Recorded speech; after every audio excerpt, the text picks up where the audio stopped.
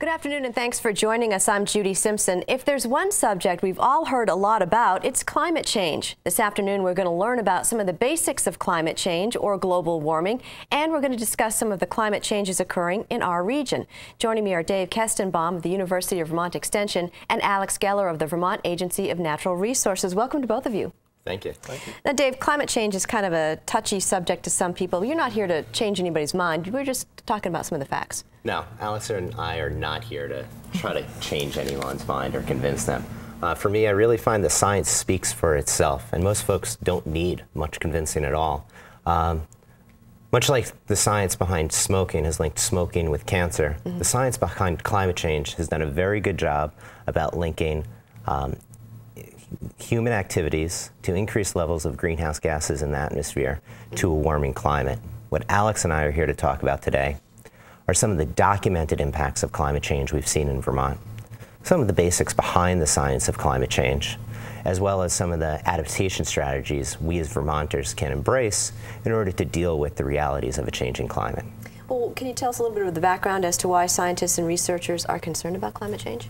Believe it or not, as far back as 1896, there was a researcher studying the ice ages, and he speculated that lower levels of carbon dioxide in the atmosphere may have caused a cooling planet and induced the ice ages. Mm -hmm. Well, then fast forward to around 1938, um, there was another group of scientists, and they speculated that, well, we as humans be, are beginning to burn large quantities of fossil fuel. And these fossil fuels are putting carbon dioxide into the atmosphere.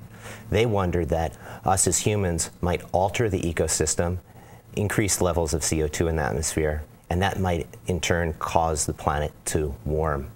In the 1970s and 80s, well, researchers began to see those large-scale increases of CO2 in the atmosphere and began to notice a warming climate.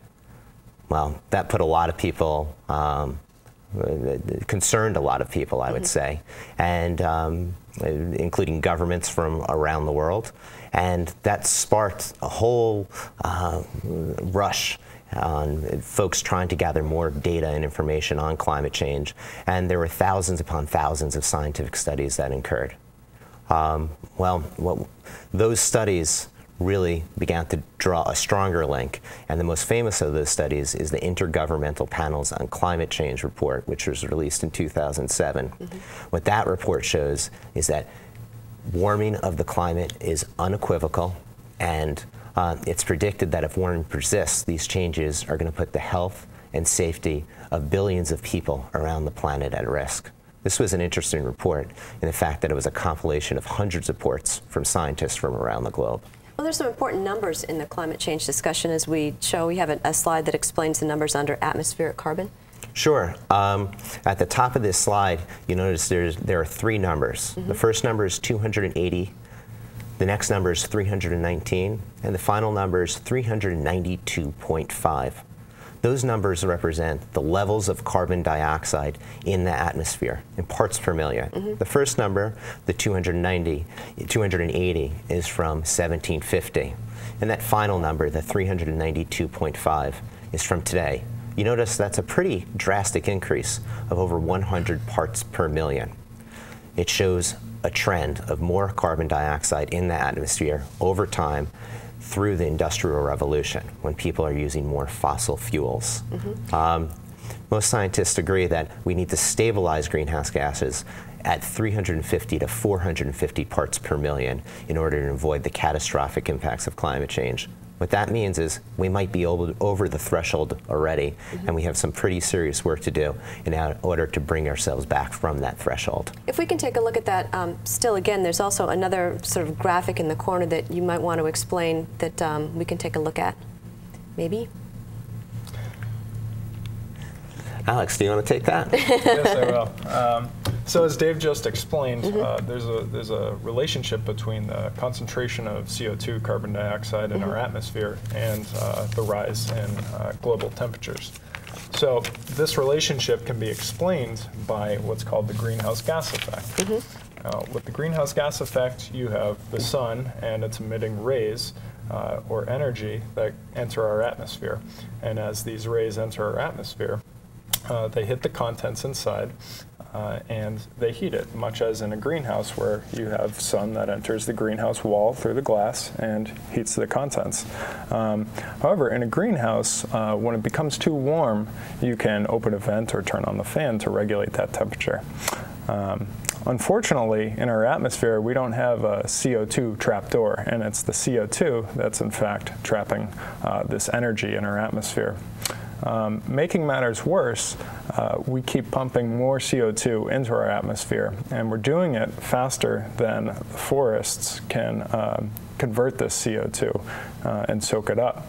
Uh, so the result of this is seen in a warmer climate. And you can uh, liken the, the increase in CO2 to a thicker glass wall in that greenhouse. So ultimately, what we'll see and what we already are seeing is a global rise in temperature. Mm -hmm. And so people often confuse climate change in the terms of weather and climate, and there's an important difference. Yeah, there is. So um, weather um, is a short-term event, and if we can show that slide, mm -hmm. um, we, we, can see that there's uh, there's a good picture showing an individual snowstorm. This could be a snowstorm. This could be um, a rain event. Or something like that. But the, the key is is that it's short term. Uh, climate is long term, and as you can see in the uh, picture to the right, um, there's a man measuring the annual snow depth, and so this is an average, and it's taken over many years or uh, and combined. Mm -hmm. um, but the best analogy I've come across so far comes from a sixth grader, and he says when you wake up in the morning and you look outside, uh, you decide what you want to put on for the day that's the weather. Um, however, when you go to the store and you buy your wardrobe, you buy clothes for your wardrobe, you're, you're dressing or buying clothes for the climate. Interesting. Now you brought along another slide that shows two different scenarios. Yeah, so uh, the first scenario, well, I'll start off by saying um, right now our, our energy sector is very fossil fuel intensive mm -hmm. and fossil fuels such as um, natural gas or coal, uh, they emit a lot of CO2. Um, and also our lifestyle is, is that of uh, a personal lifestyle and individual transportation. Um, and so if we take that first scenario and we look at the map, um, we'll find that um, in 50 years, uh, Vermont's climate could um, increase in temperature by about three degrees, and that translate to, translates to current day uh, West Virginia. And if we extend that 100 years, we might end up in Georgia. Um, so if we change the way we do things, if we rely more on renewable energies and we change our habits to more of a collective culture where we use public transportation, then we might change things. And that projection is a second case scenario on that slide. Mm -hmm. And uh, that shows uh, after 50 years, we might only end up in Pennsylvania type weather. And uh, West Virginia after 100 years. But there's also the potential in 100 years we could reduce CO2 emissions so much that we might actually, uh, we have the possibility of restoring our climate to current day Vermont. Now, Dave, some of the impacts or measurements of climate change can already be, be shown in Vermont. What are they? Sure. Um, from uh, the period of 1976 to 2005, a study was done on the Champlain Valley. And within the Champlain Valley, we saw a 2.1 degree uh, Fahrenheit increase in temperature. We saw um, a three inch uh, increase in precipitation from rain and snowfall from the previous 80 year period. Uh, we've also seen uh, later icing of the lake and less icing of the lake throughout the whole season. Mm -hmm. Other impacts also include uh, a shorter maple sugaring season. Um, as well as even earlier blooms of certain flowers uh, on each year.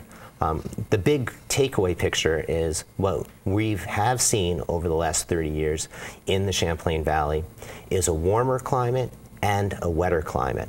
And this is also seen by a one foot increase in average lake level at the King Street Ferry Dock from 1976 to 2005. Oh. And some of the data from the past 30 years, and scientists are able to make some predictions about our future. What do we have in store? Sure, it continues that trend folks are looking at a warmer, weather, wetter climate uh, with more extreme storm events. One scientist I know described it as global weather weirdness, where sort of those regular patterns of the past might not occur uh, you know, as we've known them. Right. Uh, in the Champlain Valley, what folks are predicting is a 1 to 11 degree increase in temperature, um, a 10 to 15 percent increase in precipitation, which translates into about four to um, six inches more precipitation falling in sn as snow and rain, but a greater percentage of that precipitation falling as rain. What that might mean for Vermonters is that, uh, well, we're going to need to prepare for these more extreme weather events. And what kinds of other impacts will that have? I mean, even things Sure. like crops and such.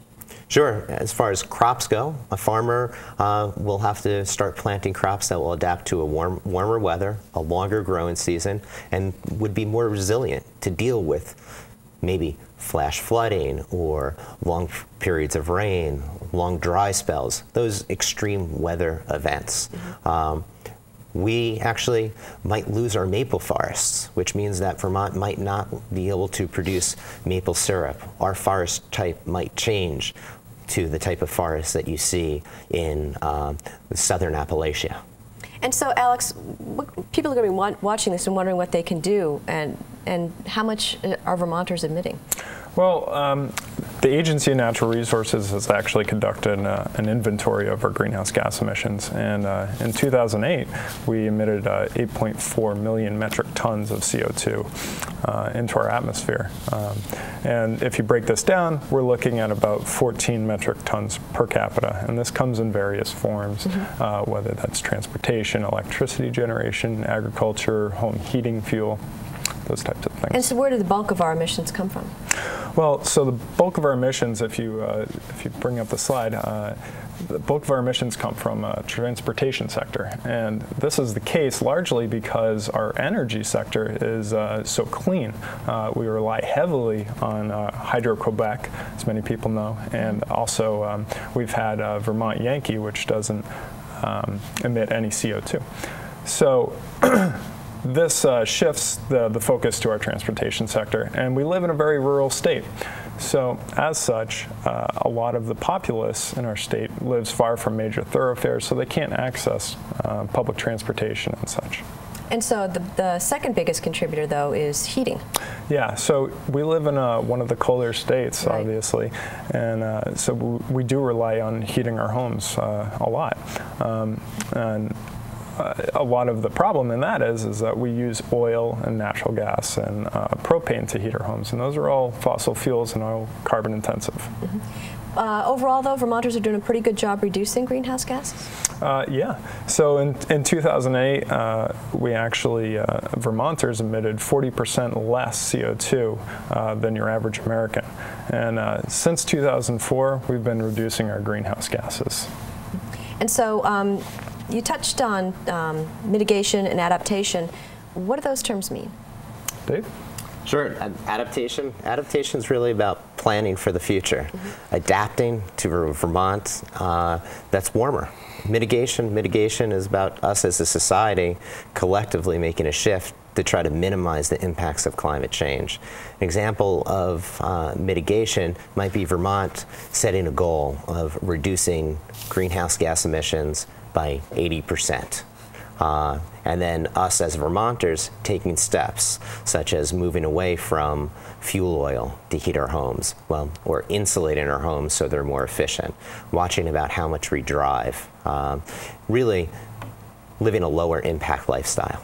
And what people do individually can make a difference? Sure, what each of us do collectively. A step as simple as changing the incandescent bulb in your home to a compact fluorescent or an LED light will increase the efficiency of uh, how you light your home by 80 to 95 percent. And those small steps make a difference. And where can viewers get more information? Uh, sure. Um, the state of Vermont has the Vermont Climate Change website, and they can go to www.vtclimatechange.us.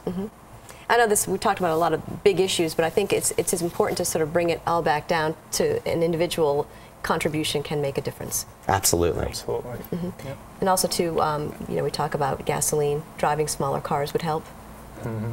Yeah, you really should only buy a car that's as big as you need. Um, it's, uh, it's very important to pay attention to that fuel economy figure. All right, well, I want to thank both of you for joining me today. Thank you. Thank you. That's our program for today. I'm Judy Simpson. I'll see you again next time on Across the Fence. For a video copy of today's program, call toll free 1 888 ATF 3430.